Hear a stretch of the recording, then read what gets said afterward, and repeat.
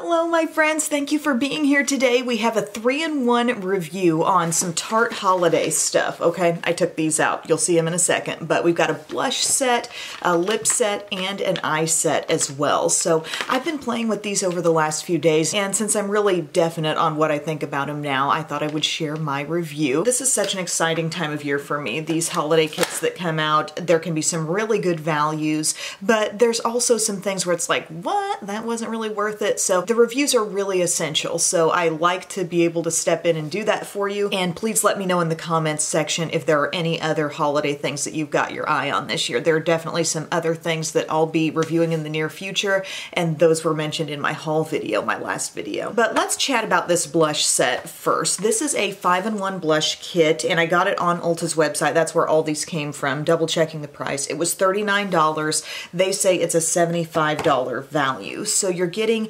mini sizes of five different cheek products here. There are four blushes and one highlight, and two of the blushes are like regular line known blushes, and then the highlight and the other two blushes are limited edition. But just to cut to the chase here, I think these are all beautiful. It's 100% good quality in this kit. There's no duds. Um, all of the blushes seem to give off a matte finish, and then you have that highlight where it's kind of nice because you can really customize the amount of glow that you get on your your skin. And you could give this as one big gift or you could split them up and put them as the best little stocking stuffer ever. A blush. I mean, is there a better stocking stuffer than blush? But the other day I was playing with Exposed and Captivating. I layered the two and Exposed, I was kind of like, oh, that's a little more color than I remember getting out of this. It looks like kind of a dusty rose blush.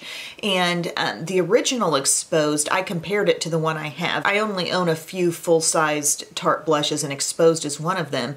And my my original one does not give off near as much color as this. Like the swatches kind of look like two different shades. Now I don't mind that, but I still liked regular exposed even though it was more subtle on my skin. And this one definitely I think gives off just a little more depth and a little more rosiness. That's fine by me, but it's just not exactly the same as my old exposed. Now maybe that product is aged and not quite as good, but the texture still feels nice and I still enjoy wearing it from time to time, but this just seems a little different to me. Now Captivating is the other blush that's already part of Tarte's line, a bestseller as they call it, and I don't have an original to compare this to, but this is a really pretty kind of like peachy pink blush. Um, it What really comes to mind when I use this is actually an old favorite of mine from Milani, and it was when they had their Minerals blush, it was still pressed, but they called it Milani Minerals, and the shade was called Mai Tai, and it was the perfect like fusion of peach and pink, and that's what this is to me, so it really reminds me of that. Again, matte finish with that one. Now today I'm wearing a couple of the others. I put on Delight, which strikes me as the deepest one in this setup here. So it's kind of a bit more plummy berry vibe in that blush. What I love about these is that they're just easy to throw on. Like they definitely have pigment. Each blush holds its own and is different from the next and you can definitely tell, but they're not a struggle to put on. You don't have to be too, too careful with it. But I'm wearing that today for that nice, pretty hint of berry glow. And then I decided to layer on a bit of Charmed. This light little burst of what I would call warm pink. If you compare that to Captivating, Captivating seems just a little richer and deeper to me. And this is really like kind of that bright cheek pop. If I just add a little bit more for you here, because I didn't go adding extra at the end of my look today. Can you kind of see what I'm talking about here? It's one of the softer shades. And what I also like about this is if I add a little more of one of these matte Tarte blushes at the end of my look, it does kind of blur the skin and make it look even more flawless. But do you see that little punch of color that it gives? But it's soft. And then we come to our highlight and that is in the shade called Fantasy. So this is your one source of shimmer in this kit and it's really, really pretty. I would call it kind of a soft golden tone, gold mixed with champagne maybe, and it's plenty bright enough to really have an impact on the skin. So I've got this on my cheekbones today. I put it a little bit on my forehead. I used it on my cupid's bow as well. I think it's super radiant. I love the texture. It's not at all um, chunky or super like, you know, exaggerated looking on the skin. It definitely glows, but you're not seeing a weird texture thing going on with it. And it's easy to apply. Definitely beautiful formulas throughout this whole kit. Again, I like the color variety. If we had two shades here doing almost the exact same thing, you guys know that would be a bit of a problem for me, but I feel like everything holds its own. Exposed is your Dusty Rose. Um, then we get a little deeper with the shade called Delight, and then we've got a couple of different sources of pops, that pretty peachy pink with Captivating, and then that lightest pop with the shade called Charm. So I love it. I think if you've got a person in your life who you know loves blush, or if that person is you, you would really like this kit. Okay, now things take a bit of a turn when we're talking about these 30 second eyes shadow and liner duos. So this whole thing was $29. A good deal for Tarte brand products. You're getting three full-size things here, and they're double-ended sticks. So on one end, you're getting a shadow stick, and on the other end, you're getting a pencil liner, retractable with all of this. Apparently this one that's called Rose Gold Luster and Brown is a best-selling shade, and then these other two are new shades in this. But all three of the shadow stick colors are really light and shimmery. As you can see, you've got that rounded tip. It's not huge, but it's not too small. It's definitely a standard size, like if you're familiar with Laura Mercier Caviar sticks or the Mally Shadow sticks. Um, that's the one they called Rose Gold Luster, which just kind of strikes me as more of a champagne color. The Golden Pink Luster, to me, seems more like classic rose gold. And there's a little bit more of a color punch to that one. And then the Golden Bronze Luster just looks really like classic gold. So those are your three shadow stick colors. Like I said, none are super dark. And really, if I'm thinking of doing a one shadow look on myself, um, I'm not always wanting to just go super light and leave it there. I really like the look of something slightly deeper, something somewhere in the middle of the range. If we've got super dark, super light here, I want my one shadow look to fall kind of in the middle because that gives me sort of an accent on the lid if there's a little metallic quality to it. And then I can blend it up into the crease and actually get a little bit of impact there too. And it can also work nice as smudgy liner underneath. You know, I wouldn't say any of these shades are dark enough to work as smudgy liner. They're more like accent kinds of colors if you want to use them in a different way other than just all over the lid.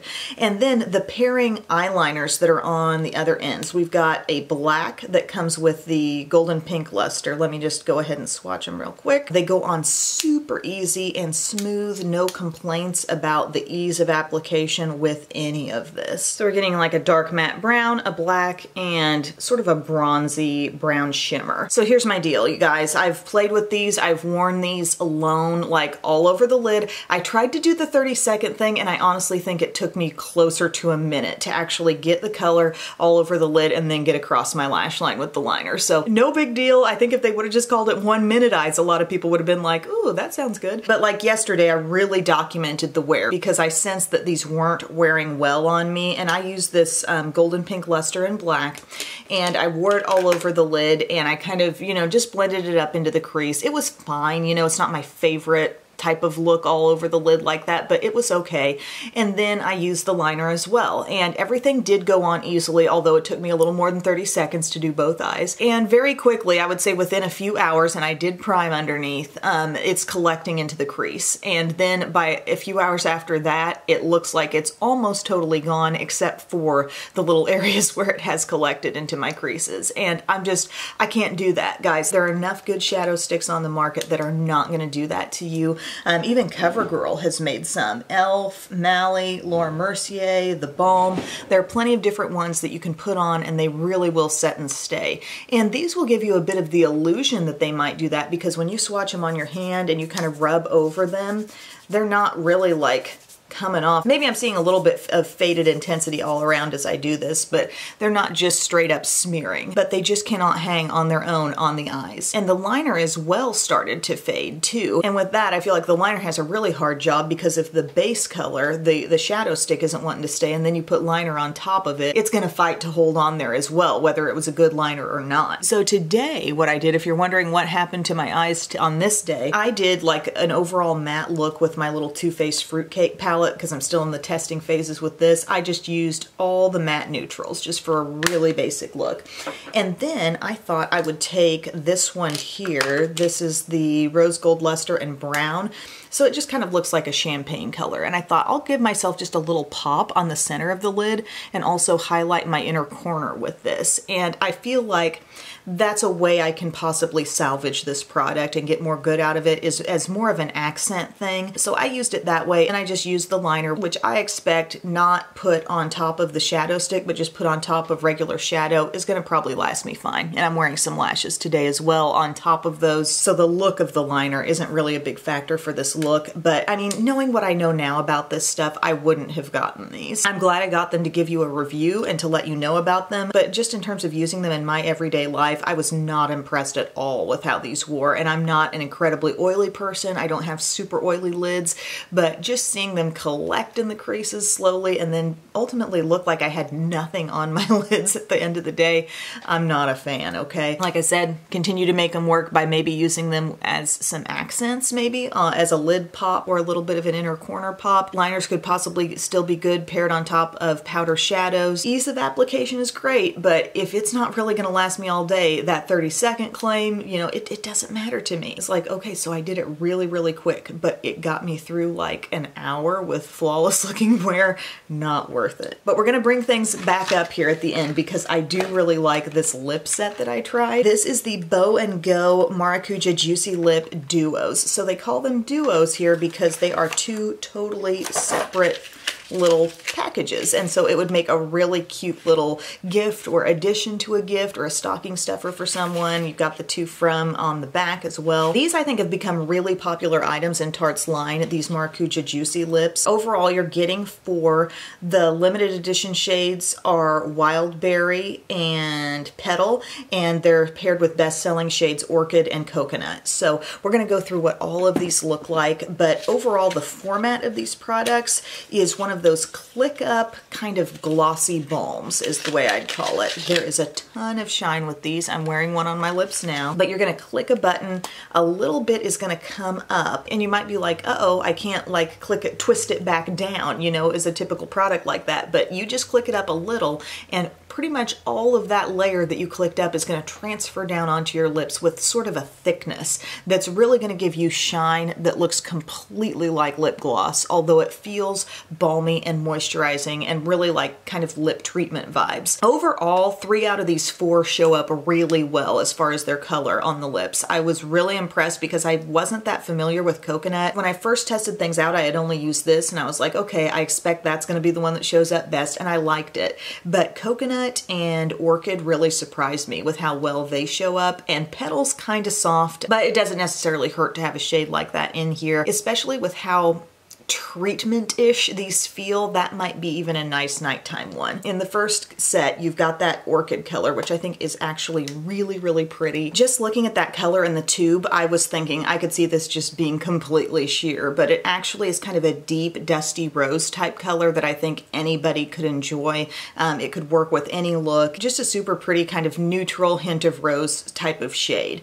And then this other one, Wild Berry, that's a new color in this whole collection, and that one's really pretty, a little bit deeper. I would say it's the deepest shade of the whole bunch. That being said, it's still not dark, dark, dark, but it's definitely the most rosy berry looking one of everything. Now we flip over to the next set and we've got coconut and petal. And I, again, going in thought both of these were gonna be super duper soft, but coconut gave me so much more than I expected. That's the one I've been wearing throughout the video and it's kind of like a toasty warm nude.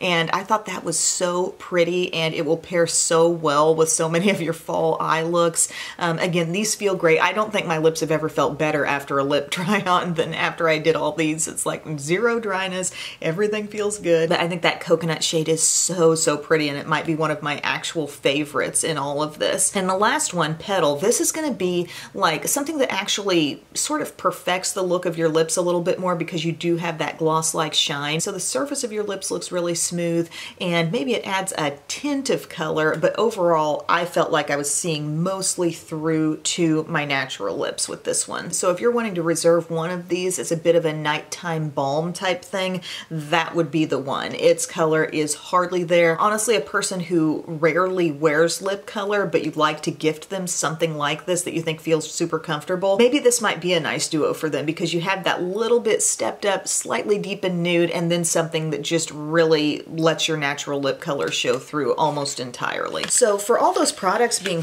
full size, I think the deal is great. Again, these are super comfortable products, not annoying at all, but there's a thickness that comes onto your lips when you apply them in that manner. And then you could go take a lip liner, touch them up a little bit, or maybe even apply lip liner first for better staying power because these are not gonna be a big staying power thing, but that doesn't annoy me near as much as if my eye product is collecting in my crease, you know? There's sort of that expectation that if you put something glossy and balmy on your lips, you're gonna need to be reapplying in a short while. But overall, really like these, um, really like the blush set. Those would be big recommendations from me and was not impressed by the Quick Stick 30 Second Eyes Duo duos. I just think there's much better shadow sticks on the market. So guys, I hope this helped you out. If you were considering any of these products, let me know how they work for you if you've tried them. And as always, leave your requests in the comments section. I love you guys. I'll see you soon.